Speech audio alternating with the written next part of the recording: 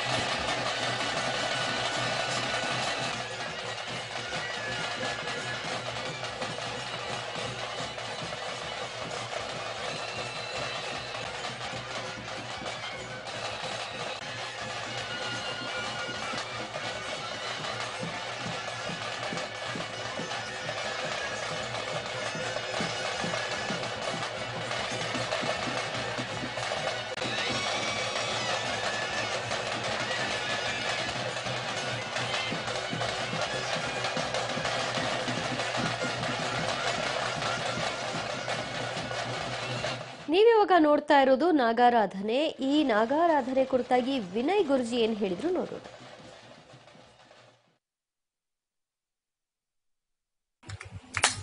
ಅಂತ. ಅದನ್ನ ನೋಡ್ಲಿಕ್ಕೆ ಒಂದು ಗುಂಪು. ಪ್ರವಚನ ಕೊಟ್ರೆ ನಮ್ಮ ಹೆಂಗಸರು ನಾವೆಲ್ಲರೂ ಒಂದಿಷ್ಟು ಗಡ್ಡ, ಒಂದಿಷ್ಟು ರುದ್ರಾಕ್ಷಿ ಹಾಕಿದ್ರೆ ಅಡ್ಡಡ್ಡ ಬೀಳ್ತಾ ಇದ್ರು. ಇನ್ನೊಬ್ಬರಿಗೆ ಅಡ್ಡ ಬೀಳ್ಬೇಕಾದ್ರೆ ಥಿಂಕ್ ಮಾಡಿ, ಯಾಕೆ ಬೀಳ್ಬೇಕು? ಅವನೇನು? ನಾನೇನು? ನಾನು ಯಾಕೆ ನಮಸ್ಕಾರ ಮಾಡ್ಬೇಕು? ನಾವು ಪೂಜೆ ಮಾಡೋರಿಗೆ ಕೇಳು. ಪೂಜೆ ಅಂದ್ರೆ ಏನು? ಪೂಜೆ ಯಾಕೆ ಮಾಡಬೇಕು? ಪೂಜೆ ಮಾಡಿದ್ರೆ ಏನಾಗ್ತದೆ? ತಿಳ್ಕೊಂಡು ಮಾಡಿ ಆಗ್ತದೆ ನಾವು ಮೊನ್ನೆ ನಾಗ, ಇಲ್ಲಿ ಸುಮಾರು ಜೋರು ಉಂಟಲ್ಲ, ಎಂತದು? ಎಂತದ್ದು ನಾಗಮಂಡಲ. ಒಂದೂವರೆ, ಎರಡೂವರೆ ಕೋಟಿ ಖರ್ಚು ಮಾಡುದು. ರೋಡ್ ಮಾಡಬಾರ್ದಂತ ಜನರಿಗೆ? ಅಷ್ಟು ಹಿಂಗಾರ ತಂದು, ಬೇಜಾರಾದ್ರೂ ತೊಂದರೆ ಇಲ್ಲ. ನಾಗಮಂಡಲದವರು ನಾಗಪಾತ್ರಿ ಅವರಿಗೆ ಕೀಳಬೇಡಿ ಮನುಷ್ಯರದ್ದನ್ನ, ಕಣ್ಣೀರನ್ನು. ಆ ದೇವರುಗಳು ಹಿಂಗಾರ ಈಗ ಹೊಡ್ಕೊಳ್ಳೋದು, ಅದನ್ನ ಬೆಳಿಲಿಕ್ಕೆ ಆರು ತಿಂಗಳು ಬೇಕಾ ರೈತರಿಗೆ ಸ್ವಯಂ ಅಂತ ಅದನ್ನು ನೋಡ್ಲಿಕ್ಕೆ ಒಂದು ಗುಂಪು. ಆ ಪಾತ್ರೆಗೆ ಇಷ್ಟಿಷ್ಟು ಚಿನ್ನ ಹಾಕ್ಬೇಕಂತ. ಯಾವ ಸುಬ್ರಹ್ಮಣ್ಯ ಬಂದು ಹೇಳಿದ್ದಾನೆ ಹಾಗೆ? ಸುಬ್ರಹ್ಮಣ್ಯ ಬಂದಿದ್ದ ಅರುಣಾಚಲಕ್ಕೆ, ರಮಣ ಮಹರ್ಷಿಯಾಗಿ ಲಂಗೋಟಿ ಹಾಕೊಂಡಿದ್ದ. ಅವನ ಹೆಸರೇಳಿ ನಾಟಕ ಆಡಿದ್ರೆ ಸರಿ ಇರಲ್ಲ ಬರ್ಕೊಳ್ಳಿ ವಾರ್ನಿಂಗ್ ಇದೆ ನಾನು ಮನುಷ್ಯರು ಮಾತಾಡ್ಲಿಕ್ಕೂ ನಾವು ಮಾತಾಡ್ಲಿಕ್ಕೂ ಬೇರೆ ಇದೆ ಕತೆ ಉಂಟಲ್ಲ ಅದು ಭೂತಕೋಲ ಅಂತ ಇನ್ನೊಂದು? ನಾವು ಕೇಳಿದ್ವಿ. ಬ್ರಾಹ್ಮಣ ಮನೆಯಲ್ಲಿ ಬಂದ್ರುಳ್ಳಿಗೆ ಇಡ್ಲಿ ಸಾಂಬಾರೆಲ್ಲ ಆಗ್ತದೆ. ಅದು ಶೆಟ್ರು ಮನೆಗೆ ಹೋದ ತಕ್ಷಣ ಕೋರಿ. ಅದೇ ಪಂಜುರುಳ್ಳಿ ಸಡನ್ ಅನ್ಯನ್ ಅಂತ ಚೇಂಜ್ ಆಗಿತ್ತು. ದೇವರಿರುವುದು ನಮ್ಮಲ್ಲಿ ಶ್ರದ್ಧೆ ತರಿಸ್ಲಿಕ್ಕೆ ಅಂಧವಿಶ್ವಾಸಗಳಿಗಲ್ಲ ಆಚರಣೆಗೆ ನಮ್ದು ನಮಸ್ಕಾರ. ಹಿಂದಿಂದ ನಡೆಸ್ಕೊಂಡ್ ಬಂದಿದೆ ಯಕ್ಷಗಾನ, ಅದೆಲ್ಲ ಹಿಂದಿನ ಕಲೆ. ಆದ್ರೆ ಅದನ್ನೆಲ್ಲ ಹಿಡ್ಕೊಂಡು ವ್ಯಾಪಾರ ಮಾಡಿದ್ರೆ ಸರಿ ಇರಲ್ಲ, ಪರಮಾತ್ಮ ಹಾಕಿ ತುಪ್ತಾನೆ. ಯಾರ ಕಣ್ಣಾರು ಕಣ್ಣು ಮುಚ್ಚಿಸ್ಬೋದು? ಭಗವಂತನಿಗೆ ಕಣ್ಣು ಮುಚ್ಚಿಸ್ತೀನಿ ಅಂದ್ರೆ ಸಾಧ್ಯ ಇಲ್ಲ. ಸೃಷ್ಟಿ ಇರೋದು ಎಷ್ಟು ಸತ್ಯವೋ ಸೃಷ್ಟಿಗಾಗ್ತಾ ಇರೋದು ಅಷ್ಟೇ ಸತ್ಯ, ಎಚ್ಚರ ಇರಲಿ. ಪ್ರೂಫ್ ಬೇಕಾ? ನಾವಲ್ಲಿ ಮಾತಾಡೋ ಮೊದಲು ಅಮ್ಮನವರ ಹತ್ರ ಹೋಗಿ ಹೇಳಿತ್ತು ನನಗೇನು ಗೊತ್ತಿಲ್ಲ. ನೀನು ವಾಗ್ದೇವಿ ಮಾತಾಡು ಅಂದ್ರೆ ಮಾತಾಡ್ತೀನಿ.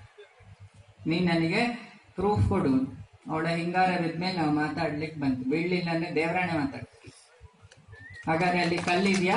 ಅಮ್ಮನವರಿದ್ದಾನೆ ಅವಳ ಹತ್ರ ಹೋಗಿ ಮಾತಾಡ್ಬೋದಲ್ಲ ಜ್ಯೋತಿಷ್ ಯಾಕೆ ನಿಮಗೆ? ದುಡ್ದು ದುಡ್ಡನ್ನು ಯಾಕೆ ಹಾಳು ಮಾಡ್ತೀರಿ? ಮಕ್ಕಳಿಗೆ ವಿದ್ಯೆ ಇಲ್ಲ. ಸರಿ ಕೂತ್ಸಿ, ಓದಿಸಿ, ಆಸ್ತಿ ಇಡಬೇಡಿ. ಆಸ್ತಿ ಮಾಡಿಯೇ ಮಕ್ಕಳು ಹಾಳಾಗಿ. ಪ್ರಾಣಿಗಳು ಆದ್ರೂ ಮಕ್ಕಳಿಗೆ ಹಾರ್ಲಿಕ್ಕೆ ಬಂದ್ಮೇಲೆ ಅನ್ನ ಕೊಡುದಿಲ್ಲ. ನಮ್ಮ ಮನೆಯಲ್ಲಿ ಮಕ್ಕಳು ಫೇಲ್ ಆದ್ರೂ ಅಮ್ಮಂದ್ರು ಹೇಳುದು, ಏನ್ ತೊಂದರೆ ಇಲ್ಲ. ಈ ಕೋರ್ಸ್ ಇಲ್ಲ ಅಂದ್ರೆ ಇನ್ನೊಂದು ಕೋರ್ಸ್ ಹೋದ. ಅವನಿಗೆ ಶನಿ ದೋಷ, ಶನಿ ಯಾರು? ತಾಯಿನೇ. ನನ್ನ ಮಗ ಮ್ಯಾಥ್ಸ್ ಫೇಲ್ ಆದ.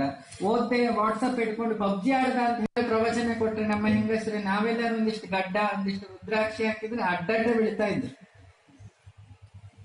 ಇನ್ನೊಬ್ಬರಿಗೆ ಅಡ್ಡ ಬೀಳ್ಬೇಕಾದ್ರೆ ಥಿಂಕ್ ಮಾಡಿ. ಯಾಕೆ ಬೀಳ್ಬೇಕು? ಅವನೇನು? ನಾನೇನು? ನಾನು ಯಾಕೆ ಭೂತಾರಾಧನೆ ಮತ್ತು ನಾಗಾರಾಧನೆ ಕರಾವಳಿ ಜನರು ಆರಾಧಿಸುವಂತಹ ಭಕ್ತಿಯ ಆಚರಣೆ. ಆದರೆ ಇದೇ ವಿಚಾರಕ್ಕೆ ಸಂಬಂಧಪಟ್ಟ ಹಾಗೆ ಚಿಕ್ಕಮಗಳೂರು ಮೂಲದ ಅವಧೂತ ವಿನಯ್ ಗುರುಜಿ ಅವರು ನಾಗಾರಾಧನೆ ಮತ್ತು ಭೂತಾರಾಧನೆಯನ್ನ ಅವಹೇಳನಗೈದು ಮಾತನಾಡಿದ್ದು, ಈಗ ವಿವಾದಕ್ಕೆ ಕಾರಣವಾಗಿದೆ. ಸೋಷಿಯಲ್ ಮೀಡಿಯಾದಲ್ಲೂ ಕೂಡ ಸಿಕ್ಕಾಪಟ್ಟೆ ವೈರಲ್ ಆಗಿದ್ದು ಕರಾವಳಿಗರ ಕೆಂಗಣ್ಣಿಗೆ ಗುರಿಯಾಗಿದೆ. ನಾವು ಯಾಕೆ ಮತ್ತೊಬ್ಬರ ಕಾಲಿಗೆ ಅಡ್ಡಡ್ಡ ಬೀಳ್ಬೇಕು? ಕಾಲಿಗೆ ಬೀಳೋ ಮುನ್ನ ಯೋಚನೆ ಮಾಡಿ ನಾವೇನು, ಅವರೇನು ಅನ್ನುವಂಥದ್ದನ್ನ ನಾವು ಕಾಲಿಗೆ ಬೀಳುವಂತಹ ಒಂದು ಅವಶ್ಯಕತೆಯೂ ಇಲ್ಲ ಅಂತ ಹೇಳಿದರು. ಮತ್ತು ಭೂತಾರಾಧನೆಗೆ ಇಷ್ಟೆಲ್ಲ ಖರ್ಚು ಮಾಡೋದ್ರ ಬದಲಾಗಿ ಒಂದು ರಸ್ತೆಯನ್ನ ಮಾಡಬಹುದು. ಆಚರಣೆಗಳು ಬೇರೆ, ಅದನ್ನ ವೈಭವೀಕರಿಸಿ ಹಣವನ್ನ ಮಾಡುವಂತಹ ಇವರುಗಳು ಬೇರೆ ಅನ್ನೋದನ್ನ ಅವರು ತಮ್ಮ ಮಾತಿನಲ್ಲಿ ಹೇಳಿದ್ರು. ಈಗ ಇದೇ ಈಗ ವೈರಲ್ ಆಗಿದ್ದು ವಿವಾದಕ್ಕೆ ಈಡಾಗಿದೆ.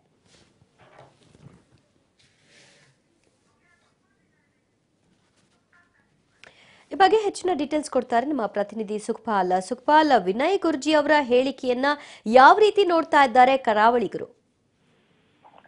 ದಿವ್ಯಾ, ವಿನಯ್ ಗುರೂಜಿ ಅವರು ಎರಡು ಆರಾಧನೆಗಳಿಗೆ ತುಳುನಾಡಿನಲ್ಲಿ ಬಹಳಷ್ಟು ಜನರು ಆರಾಧನೆ ಮಾಡುವಂತ ಭೂತಾರಾಧನೆ ಮತ್ತು ನಾಗಾರಾಧನೆ ಎರಡನ್ನು ಅವರು ಅವಹೇಳನಗೈದು ಮಾತಾಡಿರುವಂತದ್ದು. ಇದು ಇಲ್ಲಿನ ಜನರಲ್ಲಿ ಆಕ್ರೋಶಕ್ಕೆ ಕಾರಣ ಆಗಿರುವಂತದ್ದು. ಅವರು ಹೇಳಿರೋ ಪ್ರಕಾರ ನಾಗಮಂಡಲಕ್ಕಾಗಿ ಎರಡು ಮೂರು ಕೋಟಿ ರೂಪಾಯಿಗಳನ್ನ ಖರ್ಚು ಮಾಡ್ತಾರೆ. ಜೊತೆಗೆ ನಾಗಪಾತ್ರಿಗಳ ಮುಖಕ್ಕೆ ಹಿಂಗಾರ ಹಾಕೊಳ್ತಾರೆ ಅದಕ್ಕೆ ಅದನ್ನ ಬೆಳೆಯಲಿಕ್ಕೆ ರೈತರು ಆರು ತಿಂಗಳ ಕಾಲ ಕಷ್ಟಪಡ್ತಾರೆ. ಈ ರೀತಿಯಾದಂತ ಹೇಳಿರುವಂತದ್ದು. ಜೊತೆಗೆ ಭೂತ ಆರಾಧನೆ ಮಾಡುವಂತ ಭೂತಗಳಿದೆ. ಆ ಭೂತವು ಬೇರೆ ಬೇರೆ ಕಡೆಗಳಲ್ಲಿ ಬೇರೆ ಬೇರೆ ರೀತಿ ಆರಾಧನೆಗೊಳ್ತಾ ಇದೆ. ಕೆಲವೊಂದು ಕಡೆಗಳಲ್ಲಿ ಸಸ್ಯಾಹಾರಿ, ಕೆಲವೊಂದು ಕಡೆಗಳಲ್ಲಿ ಮಾಂಸಾಹಾರಿ ಆಗಿರುತ್ತೆ ಅನ್ನುವಂತ ಇಂತಹ ಮಾತುಗಳನ್ನ ಆಡಿದ್ದಾರೆ.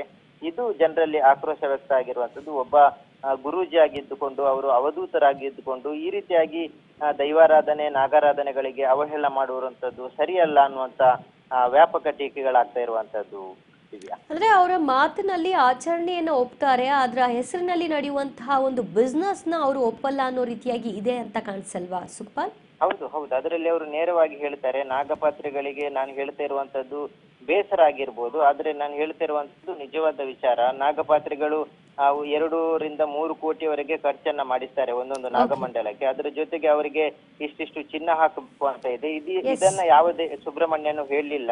ಇದು ಒಂದು ದುಡ್ಡು ಮಾಡುವ ದಾರಿ ಮತ್ತೆ ನಾನು ನಿಮ್ಮನ್ನ ಸಂಪರ್ಕ ಮಾಡ್ತೀನಿ. ಈ ಬಗ್ಗೆ ಮಾತನಾಡ್ಲಿಕ್ಕೆ ಬಿ ಆರ್ ಶೆಟ್ಟಿ ವಿನಯ್ ಗುರ್ಜಿ ಅವರ ಆಪ್ತ ದೂರವಾಣಿ ಸಂಪರ್ಕದಲ್ಲಿದ್ದಾರೆ. ನಮಸ್ತೆ ಶೆಟ್ಟಿ ಶೆಟ್ಟಿ ಅವರೇ. ನಮಸ್ತೆ ಹೇಳಿ ಮೇಡಮ್. ಓಕೆ ಈಗ ವಿನಯ್ ಗುರ್ಜಿ ಯಾವ ಅರ್ಥದಲ್ಲಿ ಹೇಳಿದ್ರು? ಅಂದ್ರೆ ಇವತ್ತು ಅವರು ಹೇಳಿದಿರ್ತಕ್ಕಂತ ಅರ್ಥ ಇವತ್ತಿಂದಲ್ಲ ಅನೇಕ ವರ್ಷಗಳಿಂದ ಅವರು ಹೇಳ್ಕೊಂಡು ಬಂದಿದ್ದಾರೆ. ಆಚರಣೆಗಳು ಮಾಡೋದು ತಪ್ಪಿಲ್ಲ. ಆಚರಣೆಗಳು ಮಾಡುವಾಗ ವೈಭೀಕರಣ ಬೇಡ. ಅವರು ಬಡವರ ಸೇವೆಯಲ್ಲಿ ದೇವರಿದ್ದಾನೆ. ನೀವು ಅವರು ವಿಷಯ ಇವತ್ತು ಚರ್ಚೆ ಆಗ್ತಾ ಇರತಕ್ಕಂಥದ್ದು ಭೂತಾರಾಧನೆ ಮತ್ತು ಆ, ನಾಗನ ಪೂಜೆ ಬಗ್ಗೆ ಚರ್ಚೆ ಆಗತಕ್ಕಂಥದ್ದು ನಾಗಮಂಡಲದ ಬಗ್ಗೆ. ಆದ್ರೆ ಅವರು ಭೂತಾರಾಧನೆಯನ್ನ ಆಶ್ರಮದಲ್ಲೂ ಕೂಡ ಒಂದು ವರ್ಷಕ್ಕೊಮ್ಮೆ ಭೂತಾರಾಧನೆಯನ್ನು ಮಾಡ್ತಾರೆ. ಸುಮಾರು ಒಂದು ಒಂದು ಲಕ್ಷ ಖರ್ಚಿದ ಒಳಗಡೆ ಭೂತಾರಾಧನೆಯನ್ನ ಆಶ್ರಮದಲ್ಲೂ ಮಾಡ್ತೀವಿ ನಾವು. ಆಮೇಲೆ ನಾಗಮಂಡಲವನ್ನ ಅವರು ಒಂದು ಹಳ್ಳಿಗೆ ಭೇಟಿ ಕೊಟ್ಟ ಸಂದರ್ಭದಲ್ಲಿ ಅಲ್ಲಿಯ ಸ್ಥಳೀಯರು ಹೇಳಿದ್ರು. ಒಬ್ರು ಬಾಂಬೆ ಉದ್ಯಮಿ ಬಂದು ಎರಡು ಕೋಟಿ ಖರ್ಚು ಮಾಡಿ ಆ, ನಾಗಮಂಡಲವನ್ನು ಮಾಡಿದ್ರು ಅಂತ ಹೇಳಿದ್ರು. ಆ ಸಂದರ್ಭದಲ್ಲಿ ಆ ಸ್ಥಳೀಯರು ಹೇಳಿದ್ದೇನಂದ್ರೆ ನಮ್ಗೆ ಕುಡಿಲಿಕ್ಕೆ ನೀರಿಲ್ಲ ಮನೆಗೆ ಕಷ್ಟ ಇದೆ ನಮಗೆ ಕೊಡ್ಬೋದಿತ್ತಲ್ಲ ದುಡ್ಡು ಸಹಾಯ ಮಾಡ್ಬೋದಿತ್ತಲ್ಲ ನಮ್ಮ ಹಳ್ಳಿಗೆ ಸಹಾಯ ಮಾಡ್ಬೋದಿತ್ತಲ್ಲ ಅಂತ ಆ ಸ್ಥಳೀಯ ಜನರು ಹೇಳಿದನ್ನ ಅವರು ಆ ನೆಕ್ಸ್ಟ್ ಡೇ ಆ ಕಾರ್ಯಕ್ರಮದಲ್ಲಿ ವ್ಯಕ್ತಪಡಿಸಿದ್ರು. ಏನು ಹೇಳಿದ್ರು ಅಂತ ಹೇಳಿದ್ರೆ ನೀವು ದೊಂದು ವೆಚ್ಚವನ್ನ ವೈಭೀಕರಣ ಮಾಡಬೇಡಿ ಆಚರಣೆಗಳನ್ನು ಮಾಡಿ ಆ ದುಡ್ಡನ್ನ ಉಳಿಸಿ ನಿಮ್ಮ ಹಳ್ಳಿ ಅಭಿವೃದ್ಧಿಗೆ ಹಾಕಿ ಅಂತ ಹೇಳಿದ್ರೆ ಅದ್ರಲ್ಲಿ ತಪ್ಪೇ ಆದ್ರೆ ಅದನ್ನ ನೋಡೋರ ರೀತಿನೇ ಬೇರೆ ಆಗಿದೆಯಲ್ಲ ಇದು ವಿವಾದದ ಒಂದು ಹೇಳಿಕೆ. ಅವರು ನಮ್ಮ ಸಂಸ್ಕೃತಿ ಆಚರಣೆಯನ್ನ ಬಹಳ ಓಕೆ ನಾನು ಮತ್ತೆ ನಿಮ್ಮನ್ನ ಮಾತನಾಡಿಸ್ತೀನಿ ಶೆಟ್ಟಿ ಅವರೇ ಈ ಬಗ್ಗೆ ಮಾತನಾಡ್ಲಿಕ್ಕೆ ದೈವಾರಾಧಕರು ದಯಾನಂದ ಇದ್ದಾರೆ. ಸರ್ ನಮಸ್ತೆ. ನಮಸ್ತೆ ನಮಸ್ತೆ ಹೇಳಿ. ಓಕೆ. ಈಗ ವಿನಯ್ ಗುರುಜಿ ಅವರ ಹೇಳಿಕೆಯನ್ನು ತಾವು ಕೇಳಿದ್ದೀರಾ? ನೋಡಿ ವಿನಯ್ ಗುರುಜಿ ಅವರ ಹೇಳಿಕೆಯ ಬಗ್ಗೆ ನಾವು ಕೇಳಿದ್ದೇವೆ. ಓಕೆ. ನಮ್ಗೆ ಬಹಳ ನೋವಾಗಿದೆ. ಓಕೆ. ಯಾಕಂತ ಹೇಳಿದ್ರೆ ವಿನಯ್ ಗುರುಜಿ ಅವರ ವಿದ್ವತ್ತಿನ ಬಗ್ಗೆ ಜ್ಞಾನದ ಬಗ್ಗೆ ನಮ್ಮ ಆಕ್ಷೇಪ ಇಲ್ಲ. ಆದ್ರೆ ನಿಜವಾದಂತ ಪ್ರಾಜ್ಞನಾದಂತ ವಾಜ್ಞೆ ಆಗಿರ್ಲಿ ಅಲ್ಲ ಒಬ್ಬ ಜ್ಞಾನಿ ಆಗಿರ್ಲಿ ಆತ ಅಧ್ಯಯನ ಮಾಡಿ ಆ ವಿಚಾರವಾಗಿ ಮಂಡಿಸಬೇಕು. ವಿನಯ್ ಗುರೂಜಿಗೆ ತುಳುನಾಡಿನ ದೈವಾರಾಧನೆ ನಾಗಾರಾಧನೆ ಬಗ್ಗೆ ಏನೂ ಗೊತ್ತಿಲ್ಲ. ಏನು ಗೊತ್ತಿಲ್ಲ. ಅವನಿಗೆ ಅವರಿಗೆ ಗೊತ್ತಿದೆ ಅಂತಿದ್ರೆ ಅವರು ಹೇಳಿದಂತ ಹೇಳಿಕೆ ಹೇಳಿಕೆಯಲ್ಲಿ ಆ, ಅದು ಯಾವುದೋ ದೈವ ಅಂತೆ ಪಂಜುರ್ಲಿ ಅಂತೆ ಆ, ಅದಕ್ಕೆ ಇಡ್ಲಿ ಸಾಂಬಾರ್ ಹಾಕ್ತಾರಂತೆ. ಇಡ್ಲಿ ಸಾಂಬಾರನ್ನ ದೈವರಿಗೆ ದೈವಗಳಿಗೆ ಇಡುವಂತ ಕ್ರಮವಿಲ್ಲ. ಅಷ್ಟು ಮೂರ್ಖತನದ ಮಾತು ಬ್ರಾಹ್ಮಣರ ಮನೆಯಲ್ಲಿ ಇಡ್ಲಿ ಸಾಂಬಾರ್ ಸ್ವೀಕಾರ ಮಾಡುತ್ತೆ ಬ್ರಾಹ್ಮಣರ ಮನೆಯಲ್ಲಿ ಕೂಡ ಇಡ್ಲಿ ಸಾಂಬಾರ್ ದೈವಕ್ಕೆ ಇಡುವುದೇ ಇಲ್ಲ. ಅದು ಅವರ ಮೂರ್ಖತನದ ಹೇಳಿಕೆ. ಯಾಕಂತ ಹೇಳಿದ್ರೆ ಅದರ ಬಗ್ಗೆ ಕನಿಷ್ಠ ಜ್ಞಾನ ಕೂಡ ಇಲ್ಲ ಅಂತ ಹೇಳುವಂಥದ್ದು. ಅದರ ಬಗ್ಗೆ ಕನಿಷ್ಠ ಜ್ಞಾನ. ಇನ್ನೊಂದು ನಾಗಾರಾಧನೆಯಲ್ಲಿ ಅವರು ಇಷ್ಟಿಷ್ಟು ಚಿನ್ನ ಹಾಕೊಳ್ತಾರೆ ನೋಡಿ ನಾಗಾರಾಧನೆಯಲ್ಲಿ ಅವರು ಮಾಡುವಂತ ಆರಾಧನೆ ನೋಡ್ಲೇ ಇಲ್ಲ. ನಾಗಮಂಡಲವನ್ನು ನೋಡಿದ್ರೆ ಅಲ್ಲಿರುವಂತ ನಾಗಪಾತ್ರೆಗಳು ಎಲ್ಲಿ ಕೂಡ ಮೈತುಂಬ ಚಿನ್ನ ಹಾಕೊಂಡಿರುವಂತ ಕ್ರಮವೇ ಇಲ್ಲ. ವೈಯಕ್ತಿಕವಾಗಿ ಮರುದಿವಸ ಅವರು ಹಾಕೊಡ್ತಾರೆ ಅವರೇನು ವಿರಾಗಿಗಳಲ್ಲ ಅವರೇನು ಬೈರಾಗಿಗಳಲ್ಲ. ಅವರ ಸ್ವಂತ ದುಡಿತದಿಂದ ದುಡಿತಾರೆ ಸಂಪಾದನೆ. ಮಾಡ್ತಾರೆ ಹಾಕೊಳ್ತಾರೆ ಅದರ ಬಗ್ಗೆ ಇವರಿಗೇನು ದಾಳಿ ಇವರಿಗೇನು ಅಡ್ಡಿ? ಅಲ್ಲ. ಇನ್ನೊಂದು ನಾನು ಹೇಳುವಂಥದ್ದು ದುಂದು ವೆಚ್ಚದ ಬಗ್ಗೆ ಕಡಿವಾಣ ಹಾಕುವುದಕ್ಕೋಸ್ಕರ ಅವರು ಹೇಳಿದ್ದಾರೆ. ಅದನ್ನು ಹೇಳುವ ರೀತಿ ಇದೆ. ಅದ್ಯಾವುದೋ ನಾಗಮಂಡಲಂತೆ ಅದ್ಯಾವುದೋ ಭೂತಾರಾಧನಂತೆ ಅದನ್ನು ಯಾಕೆ ಅದನ್ನು ಸಣ್ಣದು ಮಾಡಿ ಹೇಳಬೇಕು? ಒಂದು ವೇಳೆ ವಿನಯ್ ಗುರೂಜಿ ಅಂತ ಒಬ್ಬ ಉದ್ದಟತನ ವಾಗ್ಮಿಗೆ ತುಳುನಾಡಿನ ಬಗ್ಗೆ ಮಾಹಿತಿ ಬೇಕಂತಿದ್ರೆ ನಮ್ಮೂರಿಗೆ ಬರಲಿ. ನಾವು ಅವರಿಗೆ ಏನು ಅಂತ ಹೇಳಿಕೊಡ್ತೇವೆ. ತಪ್ಪು ಅಂತಿದ್ರೆ ನಾವು ತಿದ್ದಿಕೊಳ್ತೇವೆ. ಸರಿ ಅಂತಿದ್ರೆ ಅದನ್ನು ಇನ್ನೂ ಕೂಡ ಅವರಿಗೆ ಅರ್ಥ ಮಾಡಿಕೊಳ್ತೇವೆ. ಅದರ ಹೊರತಾಗಿ ಇನ್ನೊಬ್ಬರ ಧಾರ್ಮಿಕ ಭಾವನೆಗಳಿಗೆ ಘಾಸಿ ಮಾಡುವಂತ ತಪ್ಪು. ಯಾಕೆ? ಅವರನ್ನ ಅವರು ಅಷ್ಟು ಇನ್ಸಲ್ಟ್ ಮಾಡಿದ್ರು. ಇನ್ನೊಂದು. ಓಕೆ ದಯಾನಂದ್ ಅವರೇ 24, 25 please hang on please hang on ನಮ್ಮ ನಮ್ ಜೊತೆಗೆ ನಿಮ್ಮ ನಿಮ್ ಜೊತೆಗೆ ಹಾಗೆ ಇಲ್ಲಿ ಬಿ ಆರ್ ಶೆಟ್ಟಿ ಅವರು ಕೂಡ ಇದ್ದಾರೆ ಗುರುಜಿ ಅವರ ಆಪ್ತರು. ಇದಕ್ಕೆ ಅವ್ರೇನ್ ಹೇಳ್ತಾರೆ ಅಂತಲೂ ಕೇಳ್ಕೊಳ್ಳೋಣ. ಶೆಟ್ಟಿ ಅವರೇ ಕೇಳಿಸ್ಕೊಂಡ್ರಿ ದಯಾನಂದ್ ಅವ್ರು ಮಾತನಾಡಿದ್ದನ್ನ ದೈವಾರಾಧಕರು. ತಮ್ಮ ರಿಯಾಕ್ಷನ್ ದಯಾನಂದ್ ಅವ್ರ ಮಾತಿಗೆ ನಾನು ಗೌರವಿಸ್ತೀನಿ. ಆದ್ರೆ ಒಂದು ವಿಷಯ ಹೇಳಿದ್ರು ತುಳುನಾಡಿನ ಬಗ್ಗೆ ಅವರಿಗೆ ಮಾಹಿತಿ ಇಲ್ಲ ಅಂತ. ಕುಂದಾಪುರದಲ್ಲಿ ಅವರ ಗುರುಗಳ ಆಶ್ರಮ ಇದೆ. ಹಾಗಾಗಿ ತುಳುನಾಡು ಮತ್ತು ಕರಾವಳಿ ಭಾಗದ ಎಲ್ಲ ಆಚಾರದ ಬಗ್ಗೆ ಅವರಿಗೆ ಮಾಹಿತಿಗಳಿದೆ ಒಂದು ಎರಡನೇದು ಅವರು ಹೇಳಿದ ಪ್ರಶ್ನೆಯನ್ನ ಆಚರಣೆಗಳ ಬಗ್ಗೆ ಸ್ಪೀಚ್ ಅರ್ಧ ಕಟ್ ಮಾಡಲಾಗಿದೆ. ಅಂದ್ರೆ ಅದನ್ನ ತಿರುಗ್ಲಿಕ್ಕಾಗಿದೆ ಒಂದಷ್ಟು ಫೇಕ್ ಅಕೌಂಟ್ಗಳಿಂದ ಅದನ್ನ ಬೇರೆ ಬೇರೆ ರೀತಿಯಲ್ಲಿ ತಪ್ಪು ಸಂದೇಶವನ್ನು ಕಳಿಸೋ ಕೆಲಸ ಆಗಿದೆ. ಒಂದು, ಯಾವುದೇ ನಾವು ಫಿಲಮ್ ಹೋದ್ರೆ ಫಿಲಮ್ ಎಂಡ್ ನೋಡಿದ್ರೆ ಗೊತ್ತಾಗೋದು.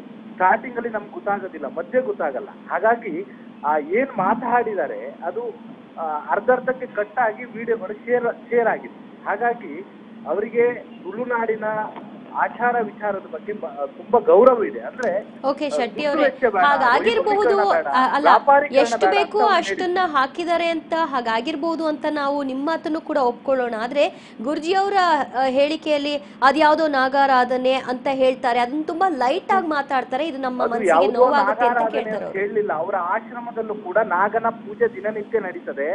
ವರ್ಷಕ್ಕೊಮ್ಮೆ ಭೂತಕೋಲ ನಡೀತದೆ. ಆದ್ರೆ ನಾನ್ ಕೇಳೋ ಪ್ರಶ್ನೆ ನಿಮ್ಮ ಮಾಧ್ಯಮದವರಿಗೆ ಆ ದುಡ್ಡನ್ನ ದುಂದು ವೆಚ್ಚ ಮಾಡೋದಕ್ಕಿಂತ ಬಡವರಿಗೆ ದುಡ್ಡು ಕೊಡಿ ಅಂತ ಹೇಳಿದ್ದೆ ತಪ್ಪಾಯ್ತಾ? ಬಡವರಿಗೆ ಸಹಾಯ ಮಾಡಿ ಅಂತ ಹೇಳಿದ್ದೆ ತಪ್ಪಾಯ್ತಾ? ಬಡವರಿಗೆ ರೋಡ್ ಮಾಡಿ ಅಂತ. ಹೇಳಿದ್ದೆ ತಪ್ಪ. ಹಾಗಾದ್ರೆ ಬಡವರ ಪರವಾಗಿ ಧ್ವನಿ ಎತ್ತಬಾರ್ದಾ? ಹ್ಮ್ ದಯಾನಂದ್ ಅವರೇ ಶೆಟ್ಟಿ ಅವ್ರು ಕೇಳ್ತಾ ಅವರ ಇವರ ಹೇಳಿಕೆಯಲ್ಲಿ ಒಂದು ಚೂರು ಕೂಡ ಹುರುಳಿಲ್ಲ ಅಂತ ನಾನು ಹೇಳ್ತಾ ಇದ್ದೇನೆ. ಬಡವರವರಿಗೆ ಬಡವರ ಬಗೆಗಾಗಿ ಧ್ವನಿ ಎತ್ತುವಂತಹ ಒಬ್ಬ ಸನ್ಯಾಸಿಯಾದವರು ಅವರು ಆ ಕಾರ್ಯಕ್ರಮಗಳಿಗೆ ಮಾಡುವಂತ ಖರ್ಚನ್ನೇ ವಿನಿಯೋಗಿಸಬಹುದಲ್ಲ? ಅವರು ಅವತ್ತು ಮಾಡಿದಂತಹ ಬ್ರಹ್ಮಕಲಶೋತ್ಸವ ಅದು ಬೆ- ಅದು ಬೇಕಿತ್ತ? ದೇವರಿಗೆ. ಬ್ರಹ್ಮ ಆಕಾರ ಸ್ವರೂಪ ಇಲ್ಲದಂತ ಭಗವಂತನಿಗೆ ಬ್ರಹ್ಮಕಲಶ ಬೇಕಾ? ನಾನ್ ನಾನು ಮಾತಾಡಬಹುದಾ ಅದು ಅದು ಹೇಳುವಂತದ್ದು ನೋಡಿ ಅದನ್ನು ಆಕ್ಷೇಪಿಸಿದ್ರೆ ನಾವು ಇದನ್ನು ಕೂಡ ಆಕ್ಷೇಪಿಸಬೇಕಾಗ್ತದೆ. ಅದು ಕೂಡ ಅವರೇ, ಮಾಡಿಕೊಂಡು ಬಂದಿರುವಂತ ಪರಂಪರೆ. ಇನ್ನೊಂದು ಹೇಳ್ತೇನೆ ದುಂದು ವೆಚ್ಚಕ್ಕೆ ಮಾಡ್ಲೇಬಾರ್ದು ನಾನು ಹೇಳ್ತೇನೆ. ದುಂದು ವೆಚ್ಚಕ್ಕೆ ಕಡಿವಾಣ ಹಾಕಬೇಕು. ಅದನ್ನು ಅವರು ಹಾಗೆಯೇ ಹೇಳ್ಬೋದಿತ್ತು. ಅದನ್ನು ಹೊರತಾಗಿ ಯಾವುದೋ ಒಂದು ನಾಗಮಂಡಲಂತೆ ಆ, ಅದಿಷ್ಟು ಹಿಂಗಾರ ಬೇಕಾ? ಹಿಂಗಾರ ಅದನ್ನು ರಸ್ತೆಗೆ ನಾನು ಹೇಳ್ತೇನೆ ಅದೇ ವಿನಯ್ ಗುರುಜಿಯನ್ನು ನನ್ನೆದುರು ಕರೀರಿ ಅವರ ಹತ್ರ ನಾನು ಪ್ರಶ್ನೆ ಮಾಡ್ತೇನೆ. ಎಲ್ಲಿ ಅಡಿಕೆಯಿಂದ ಅಡಿಕೆ ಕೊರತೆ ಇದೆ ಅಂತ ಮಾಧ್ಯಮದಲ್ಲಿ ಬಂದಿದೆ ಹೇಳಿ. ಅಡಿಕೆಯಿಂದಾಗಿ ಜನರು ತತ್ತರಿಸ್ತಾ ಇದ್ದಾರೆ ಅಡಿಕೆ ಕೊರತೆಯಿಂದ ಹಾಹಾಕಾರ ಆಗ್ತಿದೆ ಈ ನಾಗಮಂಡಲಕ್ಕೆ ಮೇಡಮ್, ದೈವ ನಾನ್ ಆರಾಧನೆ yes sir yes sir Shetty ಅವರೇ ಈಗ ಮಾತಾಡ್ಬೋದು. ಉಪಯೋಗಿಸುವುದರಿಂದ ನೀವೇನೇ ರಿಯಾಕ್ಟ್ ಮಾಡೋದಿದ್ರು ಈಗ ಮಾಡ್ಬೋದು. ದಯಾ ದಯಾನಂದ ಅವರು ಅವರ ಮೂಗಿನ ನೇರಕ್ಕೆ ಮಾತಾಡ್ತಾರೆ. ನಾನು ಅದ್ರ ಬಗ್ಗೆ ಅವ್ರ ಹತ್ರ ಚರ್ಚೆ ಮಾಡ್ಲಿಕ್ಕೆ ನೀವು ಹೋಗುದಿಲ್ಲ. ಮೂಗಿನ ನೇರಕ್ಕೆ ಆದ್ರೆ ಆದ್ರೆ ಆದ್ರೆ ಆದ್ರೆ ಹೇಳುವಂತದ್ದು ಆದ್ರೆ ಯಾವುದೇ ಅವ್ರು ಕಾರಣಕ್ಕೂ ಕೇಳಿದ್ದು ಅವರ ತುಳುನಾಡಿನ ದೈವಾರಾಧನೆ ಸ್ವಂತ ಆಶ್ರಮಕ್ಕೆ ದುಡ್ಡು ಕೊಡಿ ಅಂತ ಕೇಳಲಿಲ್ಲ. ನಾವು ಒಪ್ಪಿಕೊಳ್ಳುವುದಿಲ್ಲ. ಸ್ವಂತ ಆಶ್ರಮಕ್ಕೆ ದುಡ್ಡು ಕೊಡಿ ಅಂತ ಕೇಳಲಿಲ್ಲ. ಆಮೇಲೆ ಅವರು ಒಂದು ನಿಮಿಷ ಮಾತಾಡಿ ನಾನು ಕೇಳಿದ್ದೀನಿ. ದಯಾನಂದ ಅವರೇ ನೀವು ಮಾತಾಡಿ ನಾನು ನಾನು ಎಷ್ಟು. ವಿನಯ ಗುರೂಜಿ ನಮ್ಮ. ನಾಗಮಂಡಲಕ್ಕೆ ನಮ್ಮ ದೈವ ಕೋಲಕ್ಕೆ ಓಕೆ ಎಷ್ಟು ಇವರಲ್ಲಿ ದಯಾನಂದ್ ಅವರೇ ಹಾಗೂ ಬಿ ಆರ್ ಶೆಟ್ಟಿ ದಯಾನಂದ ಅವರೇ ಅವರೇ ನೀವು ಕೂಡ ಕೇಳಿಸ್ಕೊಂಡಿದ್ದೀನಿ ನಾನು ಮಾತಾಡೋದು ಸ್ವಲ್ಪ ಕೇಳ್ಕೊಳ್ಳಿ. ಜನಕ್ಕೆ ತಪ್ಪು ಮಾಹಿತಿ ನಿಮಗೂ ಕೂಡ ಹೋಗ್ಬೇಡ. ಕೇಳ್ತಾ ಇದೆ. ನಾನು ಹೇಳುವಂತದ್ದು ಎಸ್ ಸರ್ ದಯಾನಂದ್ ಅವರೇ ಮತ್ತು ಬಿ ಆರ್ ಶೆಟ್ಟಿ ಅವರೇ. ಥ್ಯಾಂಕ್ ಯು ಪಬ್ಲಿಕ್ ಟಿವಿ ಜೊತೆ ಮಾತನಾಡೋದಕ್ಕೆ ಇಬ್ರು ಕೂಡ ಅವರವರ ನಿಲುವಿಗೆ ಬದ್ಧರಾಗಿದ್ದಾರೆ. ಅವ್ರು ಯಾರು ಕೂಡ ಇದನ್ನ ಬದಲಾಯಿಸಿಕೊಳ್ಳುವ ನಿಟ್ಟಿನಲ್ಲಿ ಇಲ್ಲ. ನೋಡೋಣ ಜನ ಇದನ್ನ ಯಾವ ರೀತಿ ತೀರ್ಮಾನ ಮಾಡ್ತಾರೆ ಅಂತ.